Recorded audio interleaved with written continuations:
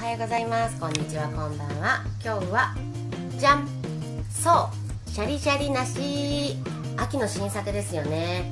評価です。そうだから。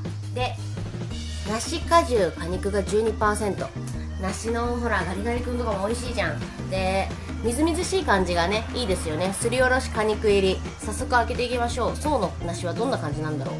1個148結構いっぱい入ってるのに148キロカロリーって嬉しいですよね。じゃあ開けていきます。じゃん。こんな感じ。もうねすごく梨の香りします。みずみずしい感じ。一口いただきます。あー爽やかそう。うん。すごい。美味しい。うん。みずみずしいし。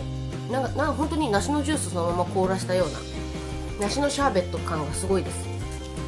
で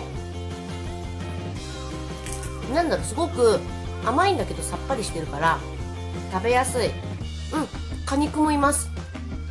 あ果肉がねまたたまに口の中にいていいですね。うん。美味しい。なんだろう予想通りの味ですね。梨って感じ。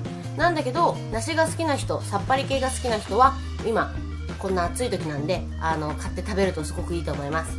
私は結構好きですよ。秋はこれを食べたいですねいっぱい。うん。今ねお近くのスーパーやコンビニで売ってると思います。皆さんも探して買ってみてください。それでは今日はこれでおしまいです。バイバイ。今日ご紹介したアイスはロッテソーシャリシャリ梨です。皆さんもお近くのコンビニやスーパーで探してみてください。スッキリ系が好きな人におすすめです。ではまた。